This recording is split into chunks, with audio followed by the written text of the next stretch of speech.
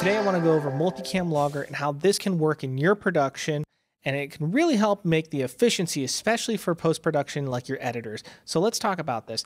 Now, if you don't know what multicam editing is, that is when you have multiple angles of the same subject. Maybe you want to switch the cameras in the edit. This allows you to direct the program and post.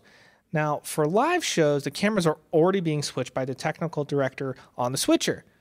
Multicam Logger can take those switcher commands and assemble a multicam clip in your editing suite.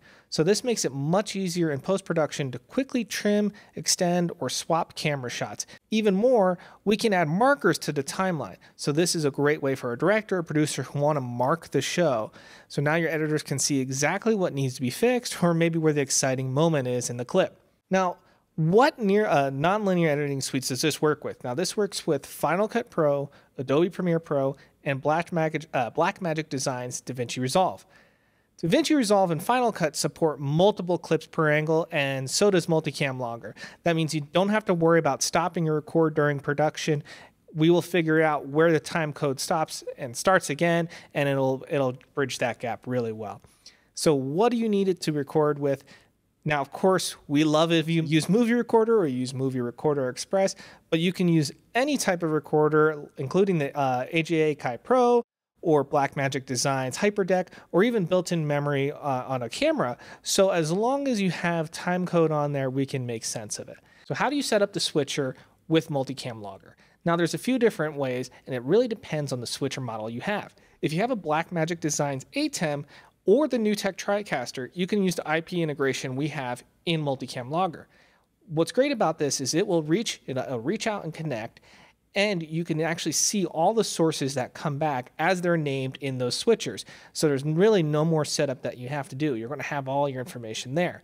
If you don't have one of those types of switchers, you can use something like GPI. So you have your GPI 25 pin, and so you can get those 24 inputs and label it right in Multicam Logger. But that's not the only option. You can actually use X-keys as well, and you can use MIDI support, and there's keyboard and mouse. Not to mention, there's also a REST API, a Stream Deck integration, and BitFocus Companion. There are ways to do it on that as well. So there's a lot of ways to integrate with it. And in Multicam Logger, if you have an ATEM, you can actually just click on the source and it'll work as, as if you're switching it. So that's really nice as well. Now let's look at the markers. You can see here, this is actually the recording I'm doing right now for you. You can see all my mess ups. All the time I put a yellow card or red card, you can see where I really made a mistake here and I said something wrong. I'm not a presenter. I'm just doing this for you. Don't hold it against me.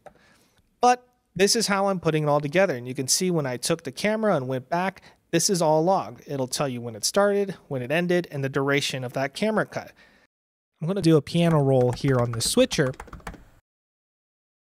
And if I just do cut, cut, cut, cut, cut, cut, cut, you can see that it's also getting all those and even very short ones uh, down to zero frames. And we have all these cuts that you're doing on your switcher are going to show up in your edit.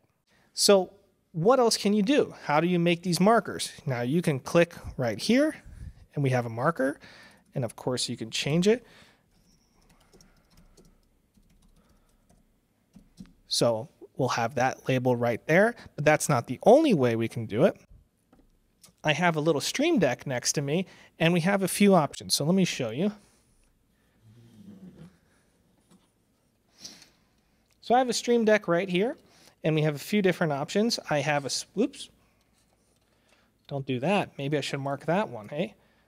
Red card, I almost broke the Stream Deck. So I'm going to back out and we have two different pages and we can do switch and mark. So switch if I want to take my source, me on camera, me on source. I'm going to hit back. I can do marks and I can say yellow card, red card, and a ton of other options. And this is all customizable in the Stream Deck integration. And you can do things like BitFocus as well. So if you want to make your own, and this is really easy because then you can give it off to a different web page, you can make the Stream Deck somewhere else, and you can set it all up so it doesn't have to be connected directly to your recording computer. Now, what about the timecode? How are you going to get this all in? So if you're using Movie Recorder, you can use the timecode source right from Movie Recorder because you can run Multicam Logger on the same machine. So that really makes it nice. If you want to run Movie Recorder and Multicam Logger all at the same station, you just hit start on those projects and away you go. You can use the Mac clock for your timecode source. You can use Audio LTC. So you just put your audio into your um, microphone input on your Mac. Make sure to allow the microphone in your settings.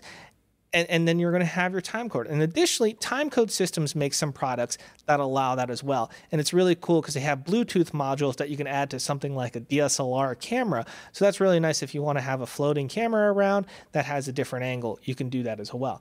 So I stopped recording and I started back up because I wanted to show you that multiple clips could be used in Multicam Logger. So let's take a look. You can see I started a new clip. I have multiple files linked now.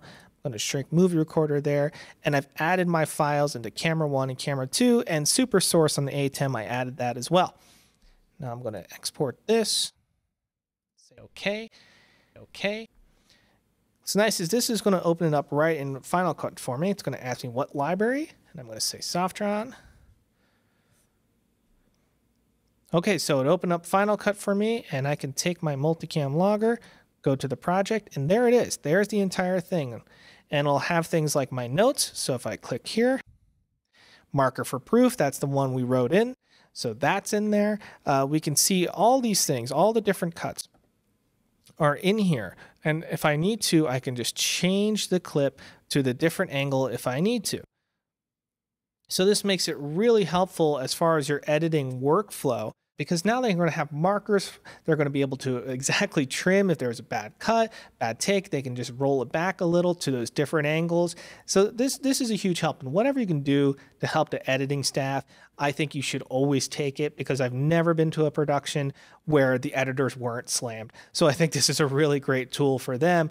And I think once they realize what they're missing out on, they're going to ask you, can you please do this? Please mark it and please use all these things in the switcher because I think it really helps them in the end.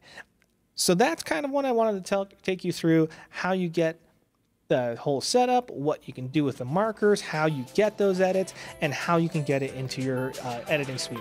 And again, it's on Blackmagic's DaVinci Resolve, Adobe Premiere Pro, and Apple's Final Cut.